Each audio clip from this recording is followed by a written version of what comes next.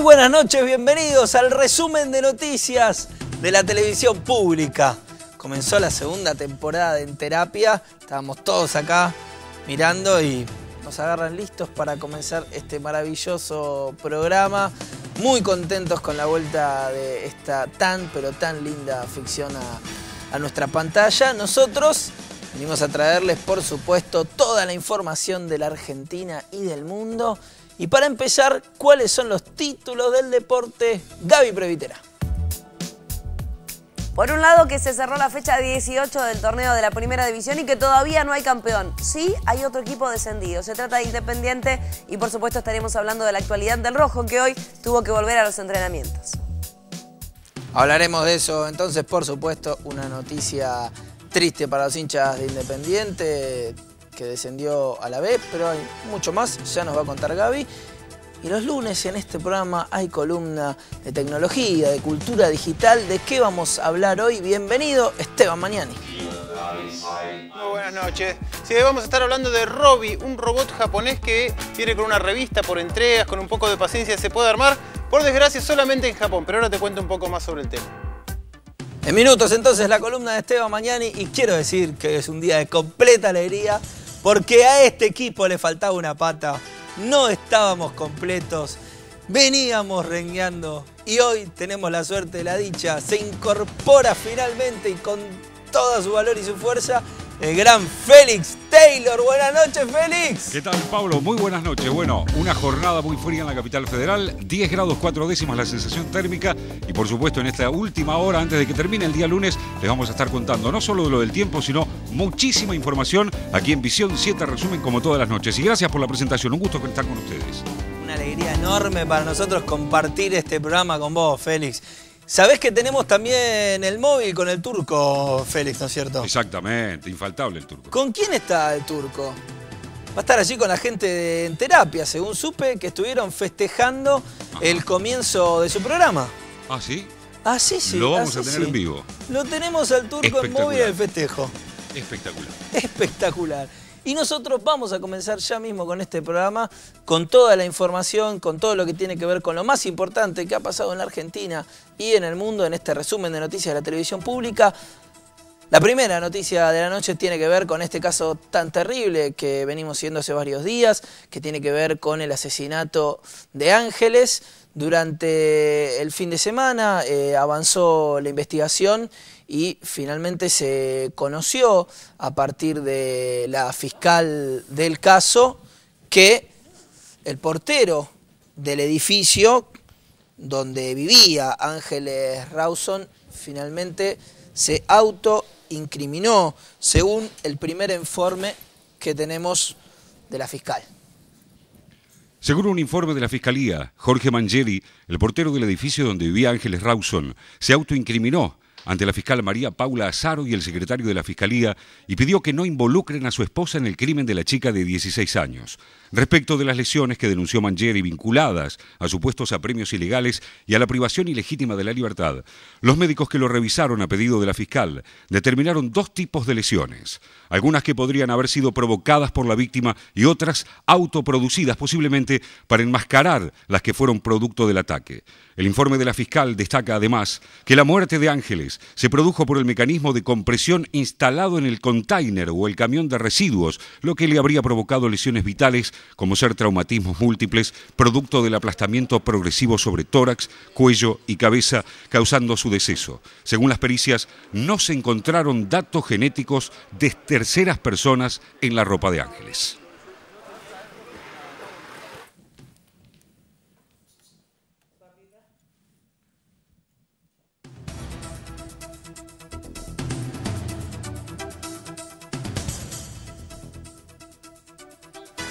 La presidenta Cristina Fernández encabezó un acto en Casa de Gobierno en el que entregó autobombas y buses del Plan Nacional de Manejo del Fuego y presentó las unidades sanitarias móviles de Acumar, autoridad de Cuenca Matanza Riachuelo. Más tarde, la mandataria recibió a directivos de la empresa que dirige Gustavo Grobocopatel, quien le presentó un plan de inversiones para los próximos tres años por 400 millones de pesos. Cristina también se reunió con el director general de Coca-Cola FEMSA.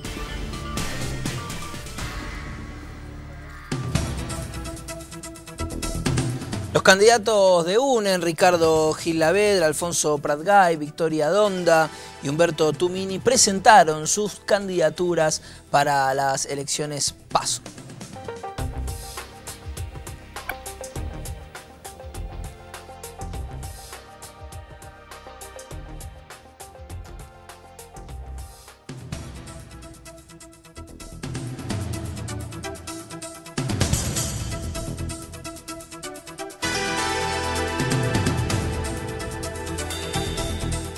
Alianza que integra e incluye a Pratgain, Carrió, Alfonsín y Pino Solanas.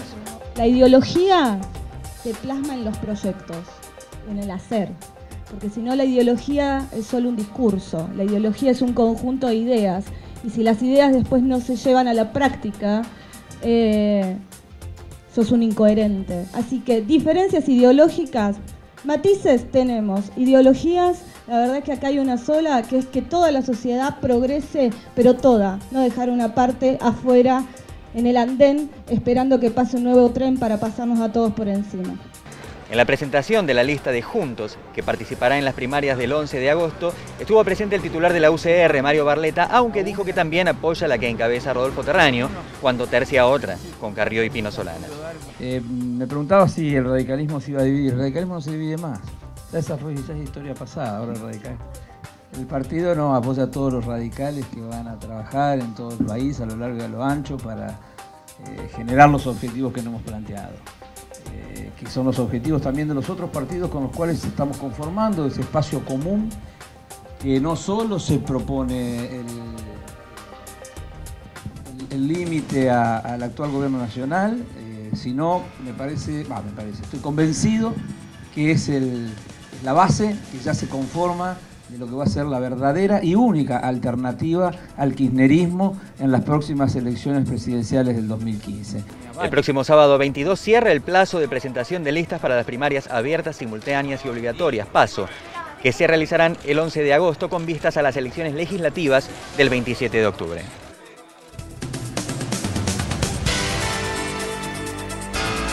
La Procuradora General de la Nación, Alejandra Gils Carbó, dictaminó a favor de la elección popular y la nueva integración del Consejo de la Magistratura y le pidió a la Corte Suprema que acepte el presaltum planteado por el gobierno contra los fallos contrarios a la norma.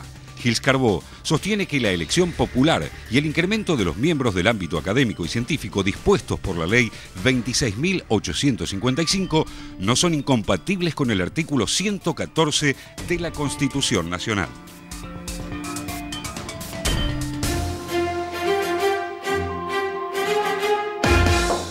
Dos centrales de trabajadores turcas y los colegios profesionales de médicos, dentistas, ingenieros y arquitectos llamaron a una huelga y movilización pese a las amenazas del gobierno del primer ministro Erdogan, que amenazó con sacar el ejército a las calles para terminar con las protestas populares. La medida es en repudio al desalojo policial violento de miles de manifestantes antigubernamentales del Parque Gezi de Estambul. La concentración fue convocada por una Turquía libre, igualitaria y democrática.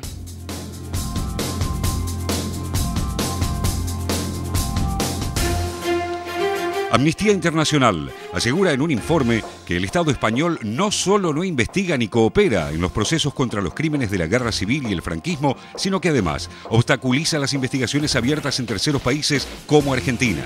En el informe se afirma que en España el Poder Judicial archiva sistemáticamente las denuncias de las víctimas. La Fiscalía no colabora con la justicia argentina a la que no remite la información solicitada, mientras el gobierno incumple sus obligaciones internacionales y ha impedido que las víctimas presten declaración en ese proceso.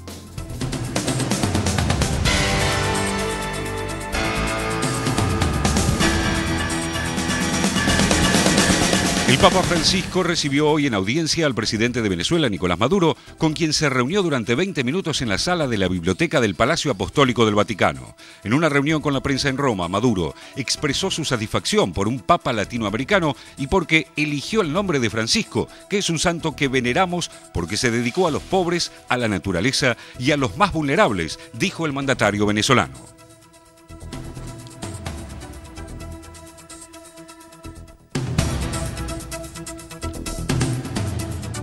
Qué maravilla tener esa voz en este programa. ¿eh? Si usted vino ahora, se está sumando, quien escucha es Félix Taylor, que a partir de ahora es el locutor que forma parte de esta maravillosa emisión de resumen de noticias. ¿Qué le puedo decir con esa voz? Nosotros continuamos con este programa. Ahora con el móvil, como anticipamos, el elenco de Enterapia, que hoy estrenó aquí en la pantalla de la televisión pública, se reunieron todos en un bar a disfrutar de su primer capítulo, a brindar, a festejar, y allí, donde hay un festejo, está el turco Salim Sad. Turco, ¿cómo está todo por ahí? Maravillosamente, me imagino. Maravillosamente, Pablito, ¿cómo estás?